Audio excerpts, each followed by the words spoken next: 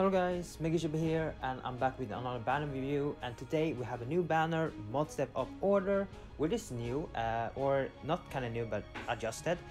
Before it has 5 steps but now it is like awakening banner, they have reduced it to 3 steps so it's cheaper enough to get mod skills, so real nice of them. But the only thing that is missing is the rate up.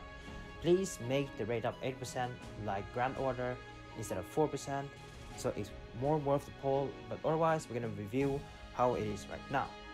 Short about that banner is that it's a mod banner where step 1 3% off, step 2 regular price and step 3 you are guaranteed to get a mod skill and a mod skill that have been released to the game except for a limited uh, mod skill like Frontline Commander Asuna which is celebrated for the initial ring uh, Sword Online or progressive movie. Those mod skills aren't here in banner so we're sad about that.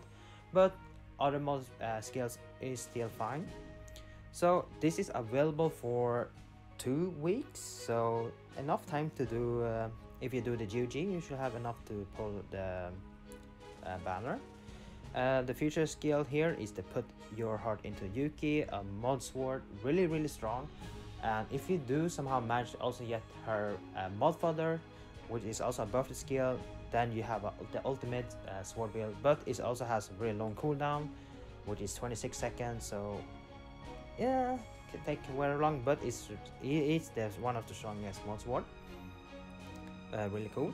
Then we have Strict Butler Sinon. Uh, this one is really good. You can use this as mod fodder for your bow, or you can use it as a uh, damage dealer if you want.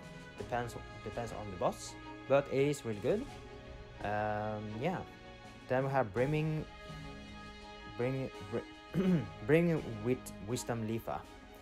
Uh, so blood and fire. Um, so this is really good for either I think floor 75 a dungeon or skull reaper one of those and yeah so these all the skills and the last one was awakening in the night koharu i don't remember when that was but yeah that was the latest mod skill and I can see there's no limited uh, mod skill here no progressive uh, skill so they don't exist.